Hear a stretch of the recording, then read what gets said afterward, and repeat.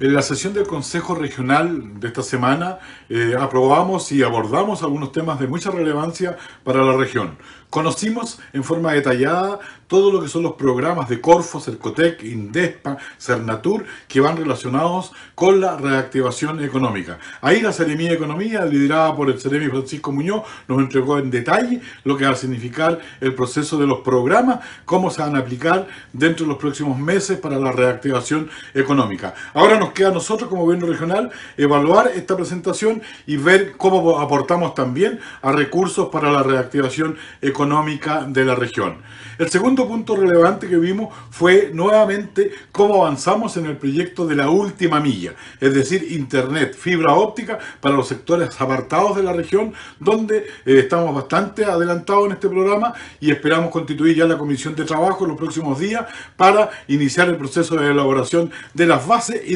definir cuál va a ser la unidad técnica que va a ejecutar esta eh, iniciativa que viene a beneficiar a tantas familias de la región de los lagos, de todos los sectores rurales y algunos semiconcentrados. Esperamos, ¿cierto?, que eh, invertamos 15 mil millones en este proyecto. El primer año contempla 2.980 millones de pesos que estamos trabajando con la Subtel y la Seremía de Transporte.